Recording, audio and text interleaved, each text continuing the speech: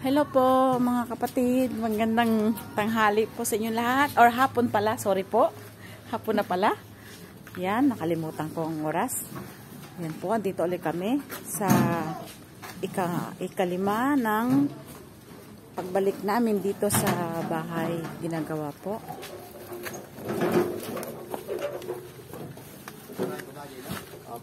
Yan. Papasukin po natin ang loob po ng bahay. Ayan. Tinutuloy po nila ang pagpintura po. Maganda na po.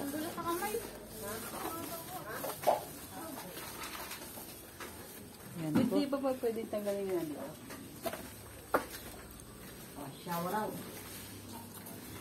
Maayos-ayos na po ang yan po. Ito po yung loob po na ito po ay mababa po dito sa loob. Ngayon po, dinambakan po. Tinaasan po para ang tubig po ay hindi na pumapasok. Kasi po, yung dati pong mababa ito, pinapasukan sila ng tubig at hanggang bukong-bukong daw ng paa. Yan, tinasan po at pinalitagan din po. Mayos-ayos na po ang bahay. Ito, ito din po, inayos din po. Yan. Yan po mga kapatid, maayos na ang kanilang tahanan at pwede nang komportable na po at hindi na sila mahirapan. Ayan. Panglimang balik na po kami dito. Tinatapos po hanggang matapos po ito. Ayan po.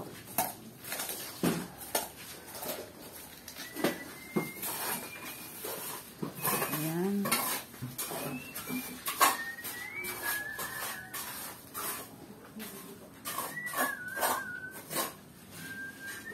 Ayan po. Yung isang kwarto po, ginawa, dito tayo lalabas tayo.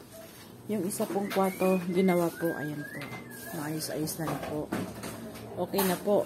At pwede na pong tulugan or or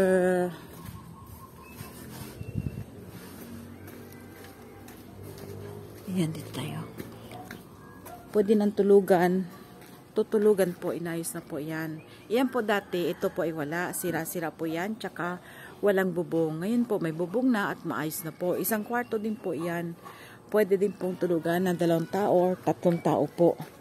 Lalagyan lang ng double deck po. Okay na po sila. Yan, inikutan natin yan.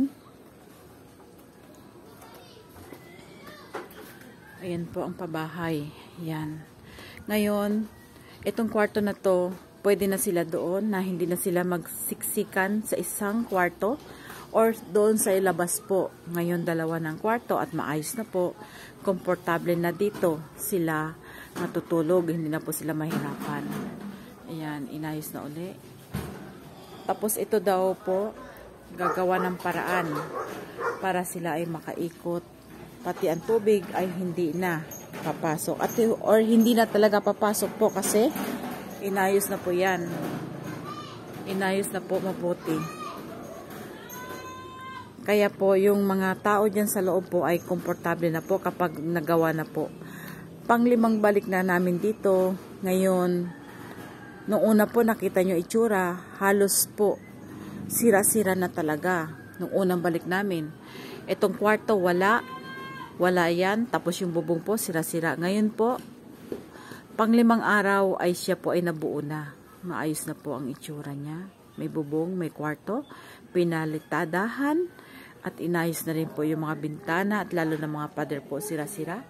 Yan yung mga pader po na ukit-ukit na.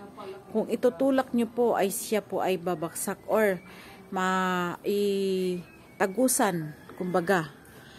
Kasi po malambot or ano na po ang kanyang semento. Yan, dito tayo dadaan kasi mahirap doon.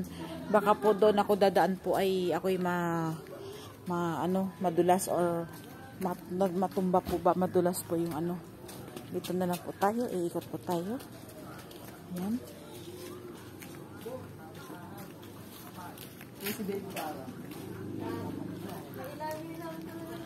Ito po itsura. Yan po. konting ano na lang po. Matatapos at mayayari na po ang bahay. ginawa. Yan.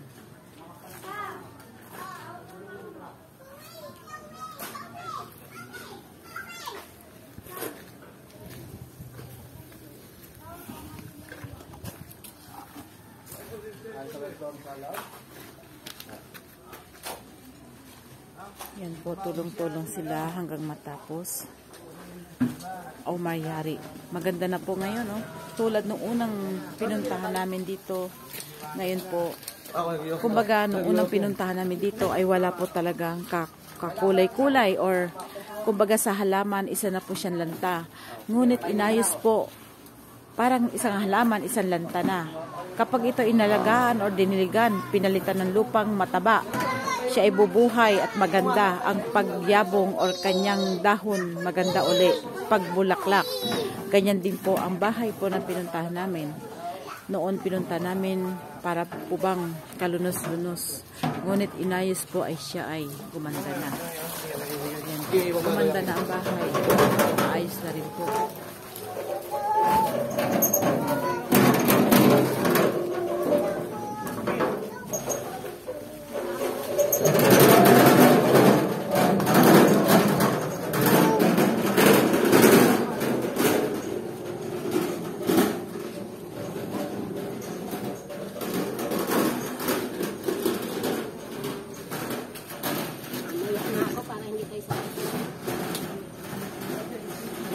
Po. Hindi na po ako magsha-shoutout po sa lahat pero ah pero po kayo lahat ay binabati ko po sa inyo. Kayo po binabati ko kayo lahat na magandang hapon po sa inyo. Hindi ko na lang po isa-isahin po. Always po hindi ako nagdadala ng sulat. Pero po yung naalala ko lang po ay isi-shoutout ko. Pasensya na po kay mga kapatid ha. Sana po sa lahat na hindi ko nabanggit ang mga pangalan nyo po ay paumanhin at pero ko pero po kayo lahat ay mag-ingat po kayo. Maraming salamat po. At na sana po maunawaan nyo po ako na hindi po ako nagdadala ng ah, sulat po or inyong ah, aking notebook po para kayo isa-shoutout po. Ayan.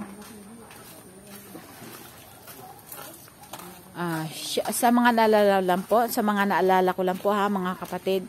Shoutout po kay Ma'am Kates Closer, kay Ma'am Ria Parulan po, sa kanyang grupo po, kay Sis Princess Apiona, Princess Crystally, Princess Mok, ah, kay Perry Mokrum, kay Princess Anya. Sinashoutout ko po silang lahat. At syempre po, kasama na po ako doon. Hindi po. Ah, shoutout din po kay Baby Blinky po at sa kanya mga kasamahan po sa bahay. Sa mga anak, sa mga tumutulong po dito, sinashoutout ko po ang mabait nila para mayayari lang po itong bahay. At puntahan din po ninyo ang Shopee ni or Lazada ni Ma'am Ria po. At kay Graciela Placido din po, may Lazada din po ah, suportahan po natin mga kapatid ang mga bawat vlogger po. Katulad nito po ang Timucha ah, ang Timucha po like nyo po at share. Like nyo po mga kapatid huwag nyo kalimutan po ha? Like. Paki-like nyo po. Pag na napuntahan nyo ang aking munting bahay po at nadaan nyo po ang aking harang Wag niyo pong is- ah, wag niyo pong skip po, panoorin niyo po. Kahit yung harang lang po ang panoorin niyo po. Ako'y taos pusong nagpapasalamat po sa inyo. Yun lang po ang tulong niyo sa akin mga kapatid. Ah, maraming maraming salamat uli. Ah, shoutout pala kay Sir Alfredo Baisan, kay June Flamenco, kay Sir Agner alias Alaga ni Kalanchaw, kay Melkian, Melkian Lamoste, Annalisa Naldo, Chona Serbo, kay Mendoranyan Vlog, Shoutout din po kay kay Gilly Jurna, kay Amor Miranda, Sonia Martiha from Japan. Hello ma'am, ingat po palagi. Shoutout din po kay Jeneline M. Sigua. Shoutout din po kay Lelay Norantes. Kay basta po sa lahat-lahat po mga kapatid, shoutout po kay Steve R din po, shoutout din po. Shoutout din po sa mga hindi ko na naalala, pasensya na po. Kasi ka po, sabi ko, hindi ko dala ang aking listahan. Pero po, kayo lahat ay binabati ko. Magandang hapon po sa inyo lahat. At kung saan man po kayo man ngayon, palagi po kayo mag-ingat at magdasal para ligtas po tayo sa kapahamakan kung ano man sa ating kapaligiran. At kung kayo po ay nagmamaneho, palagi po kayo magbigayan, huwag po maggigitan sa mga trapiko para iwas po tayo agrumento sa kapwa natin driver. Palagi lang po tayo magbibigayan at huwag tayo magmamadali.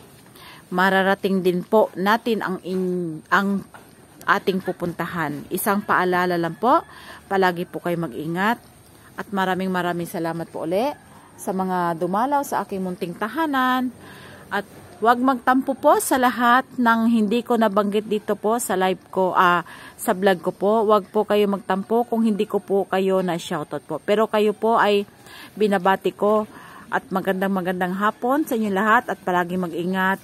Ah, maraming maraming salamat po. God bless po.